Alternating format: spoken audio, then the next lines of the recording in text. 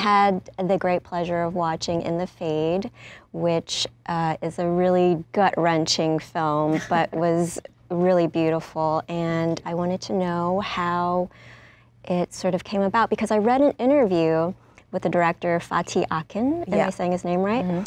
And he said that he first encountered you at Cannes like years ago where you were emceeing a party or something and he said that you just had a great energy about you and he remembered you so when he was coming up with this uh, story idea he thought about you so what was like the timeline for that from like when you first met him and then he talked to you about the movie role So I was actually a jury member at the Cannes Film Festival.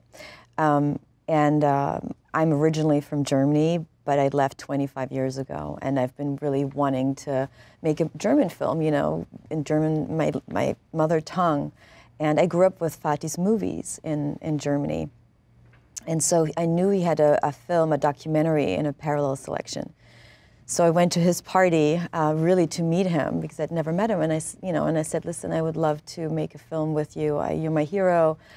If you have anything, please, you know, remember me." And he kind of did. It took five years, but eventually he called me and he sent me the script. And um, you know, you've seen the film. I was, I was really scared when I read the script. I wasn't sure really if I could do it, if I had the strength, you know, to go through all of this.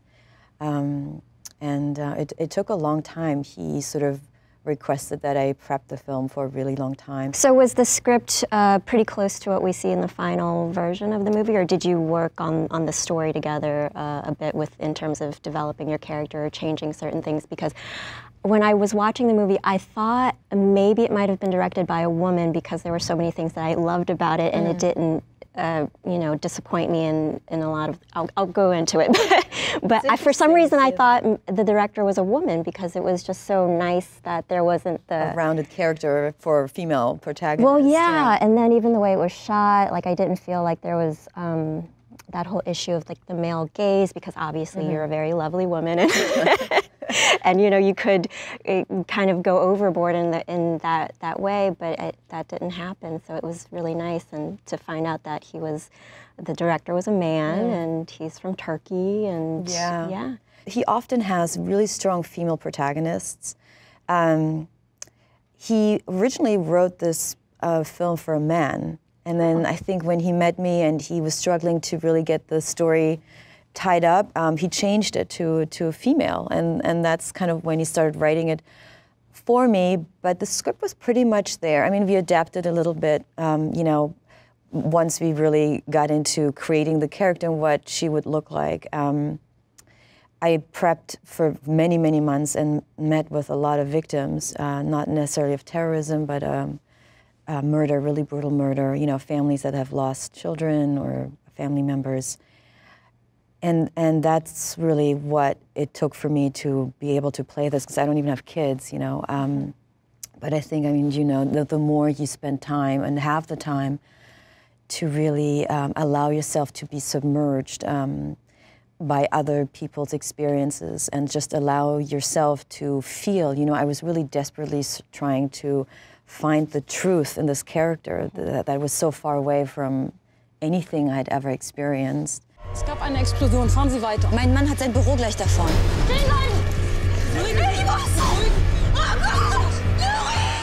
So what was that like for you? Because for my character, I, um, she's an amputee, and I had an amputee consultant who was also uh, a below the knee left leg amputee, and I went to her rehabilitation center where she did her physical therapy. And when I first got there, there was definitely a lot of trepidation on my part about entering this space and uh, being there with people who actually were, uh, you know, had disabilities and were there to do actual real work. And I felt like I was invading their space a little bit. So, what was that like for you for the first? Um, maybe couple of uh, families or, or individuals that you spoke to about their experience because that's such a, a personal thing um, was it difficult? Was it tricky? How did you?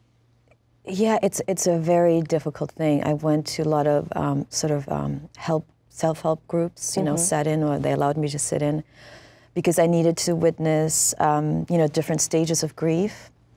since the movie spans quite a long time. But really, what I took away from it, and I don't know how you felt, because um, yours is more precise about a disability.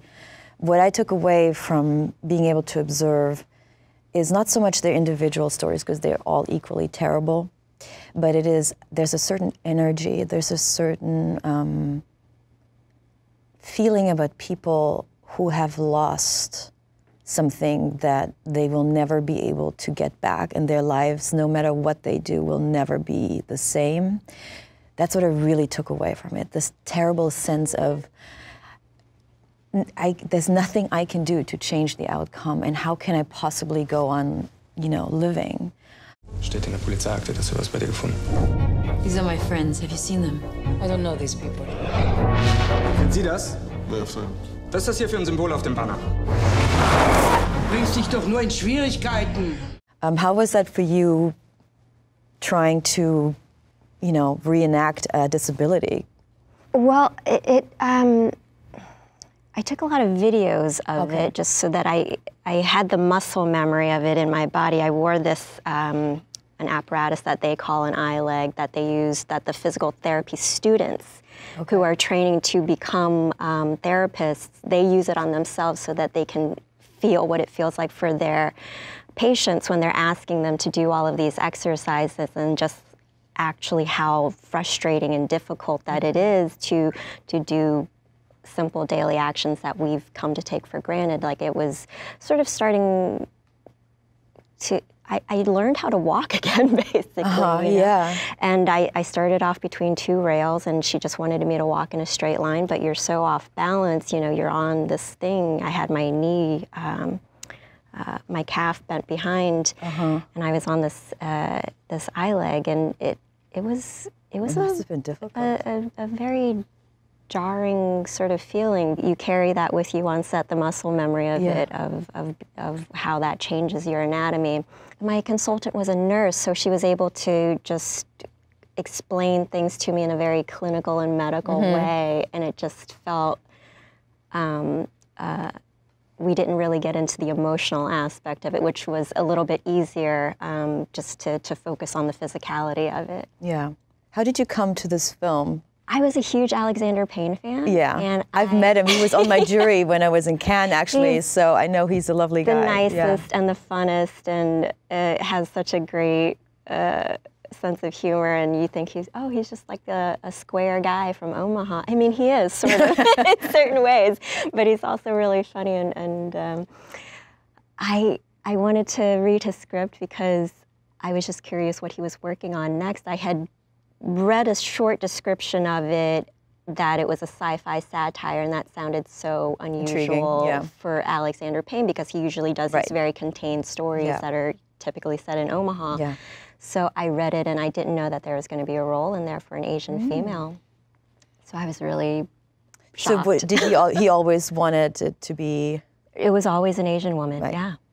So I know I, have seen the movie. So um, I, as I, I met you last night, I, I was surprised. I thought I came over and I introduced Yeah, myself. you came over, which I'm glad you did. Um, but you look so different in the film, and uh, you have a, a really strong accent I in the do. film. So I I, actually thought you were gonna, you know, you're from somewhere else. but you were um, you were born in, in America. Uh, my parents were Vietnamese refugees, and they left Vietnam and ended up in a refugee camp in Thailand, and that's actually where I was born. Okay. And then we had a sponsor family in New Orleans, just a random Vietnamese family. We weren't related to them. And we came to New Orleans and lived with them for the first year or two that they, we were in the U.S. When I little girl, my father he take me, my sister go see butterfly. Near my village, they live in the tree. You know, they fly cold place to hot place every year. So um, once you read the script, were you invited to audition, or how how did you get this part, basically? I called my manager and I was like, there's a huge role in here for an Asian woman. Well, you called the manager. oh wow, the system really works, huh? well, you know the saying that you know they take 10%, but you do 90% of the work. So I'm just kidding. They're great.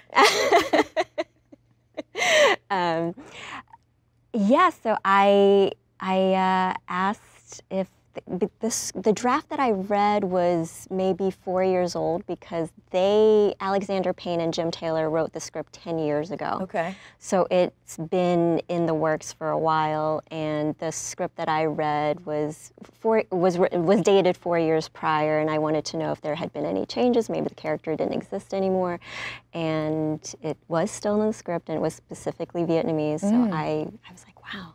You know, It was written for me. Mm, it was written for me and it's one of those weird roles where i felt like my whole life has been a preparation for this role mm-hmm. which i never feel about anything. It's funny you say that. I feel that about my film as well. You know, that every once in a while you read a script where, and it comes to you at a, the right time Yeah. in your career in your life where you feel like, okay, I'm ready to take this Yeah. on. I'm going to do anything I can to get this part. Yeah i think you said in an interview if i had gotten this role like five years ago i Yeah. wouldn't have been able to do it Right. why do you think that is just like life experiences or part, part of it. Um, I think um, a certain maturity of, um, of, of understanding maybe people a little bit better. Um, you know, bringing more to the table yourself because you've lived more. Um, empathy, I think, is a big a big thing. Not that younger people don't have empathy, but I think. Uh, I think when you get older, you um, maybe realize the value of things a little bit more, you know, Yeah. of life and people in your life, you know.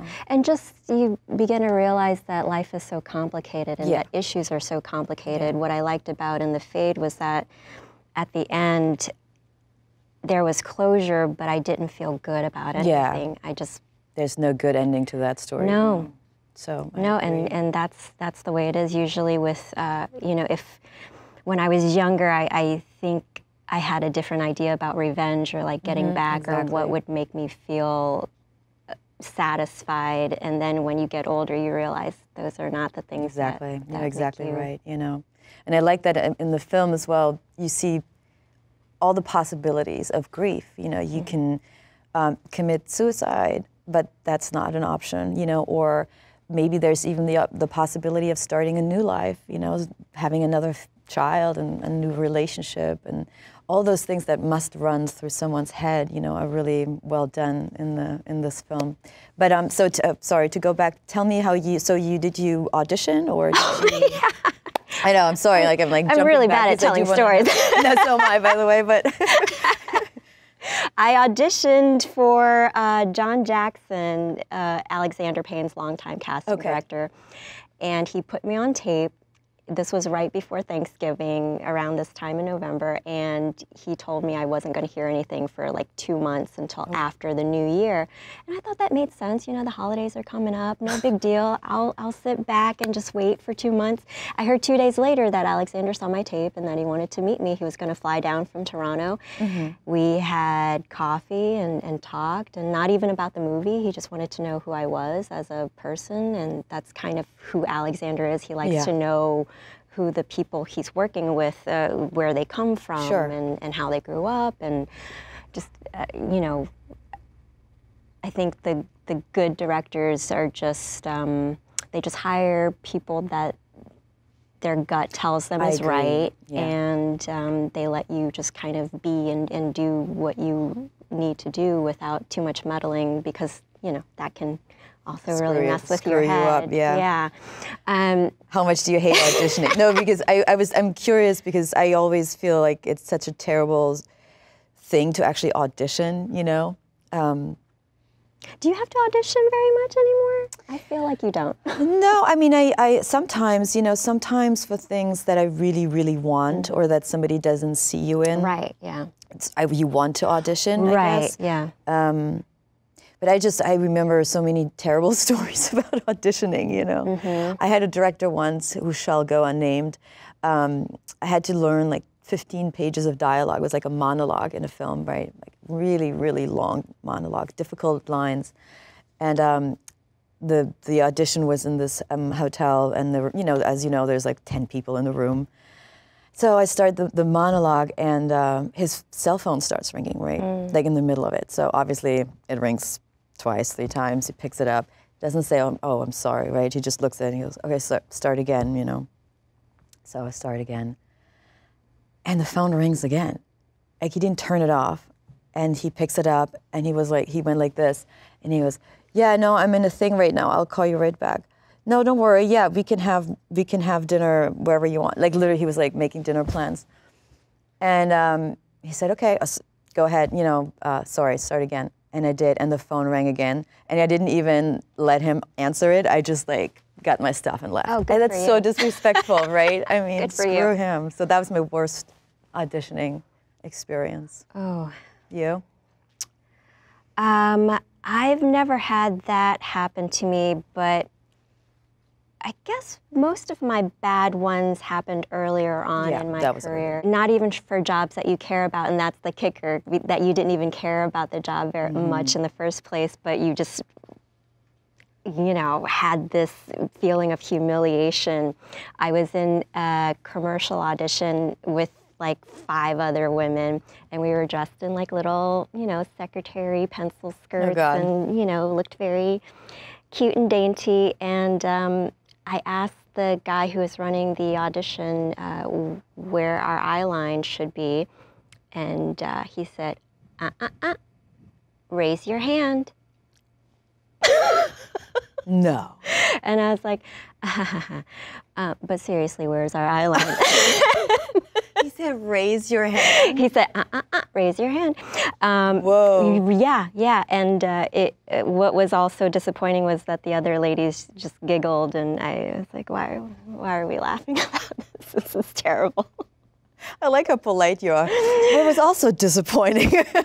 I was like, yeah. How do you say butterfly in Vietnamese? Con bướm, Gong bong? Con bướm. So you started off as a model and then transitioned into acting. And uh, your director, Fatih Akin, also brought that up in this interview that I read, where a lot of people have underestimated you or, or not seen you as a serious actress and, and uh, haven't really had a lot of confidence in, in your abilities. And I'm sure once people see in the fade, that will uh, dispel any, any of that. So, is this more in line of what you would like to do uh, moving forward with other projects, other films, or, or where would you like to go from Well, I don't know how you feel about things like that, but I think so many actors or careers are really made out of opportunities. So um, we are all guilty of preconceived notions of, you know, who you are, who I am, of where we come from, what our abilities are. And so often you don't get the opportunity to actually you know, play or act in, in, in a role or in a, in a movie that will actually show your range because people like to typecast you, whether you like it or not. And that's not just in the movie industry, you know. So I would say um, I'm extremely grateful that a director took a risk on me.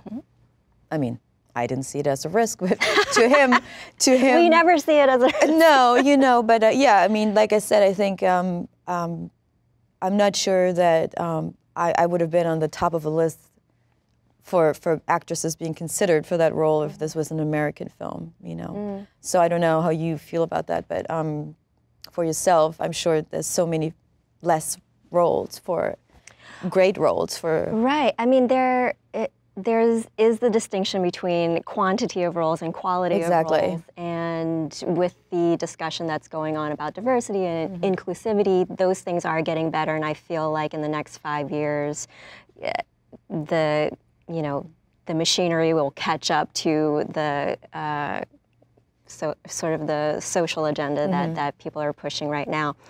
Um, but then there's just as an individual what you respond to, the materials that you respond to. And what was so nice about downsizing was that it's a movie that weaves together topics and ideas that I personally care about. And I didn't look at it as just a job or an opportunity Right. or just like, oh, it's a lead role, it's a big role. Yes. It was also something that I really believed in that and that I cared about whether I was in it or not. I just Yeah. loved the story Right. and loved the character. But I think that sets performances apart as well. I think when you have a personal connection um, to a character, even just the story, it, it will it'll make the film more rich and I think it more rele- relevant yeah. because there's so much else coming to the role than just somebody saying lines and showing up for work. Yeah. I definitely feel about that, like that about in the Fade. Yeah. I love it when you feel like you're needed in Mm-hmm. something. Not that you could play the role, but it's like there's a need for you. Yeah. And a purpose for you being there. So whatever that is, I, I I'm not sure, but Yeah. hopefully that. Well, I think you're wonderful in the film, and you really stand out. You know, you're, you're yeah. I, I can't even imagine the film without you or somebody else in it. You know, it's like one of hmm. those obvious. Yeah, I know. And you surprised me, like I said, when I met you last night. I was like, wait, that's you. You, you know, you changed so much in that character.